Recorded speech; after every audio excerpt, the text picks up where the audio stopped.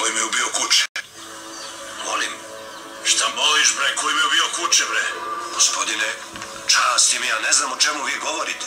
Evo, ovo vam je rješenje, razumijete? A ovo, ovdje, ovo je rješenje gospođe Ingrid Livingston, Štokholma. Eto, treba samo da nam predate dijete, razumijete?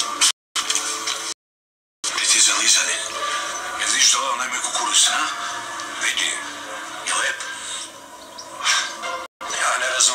Lijep je. A ne razumem. E pa, vidiš, kad mi okrunimo taj nama nikakve artije ne trebaju. Mi to radimo šišarkom, jel ti jasno? Gospodine, vi nijeste svjesni situaciju u kojoj se... Jasno!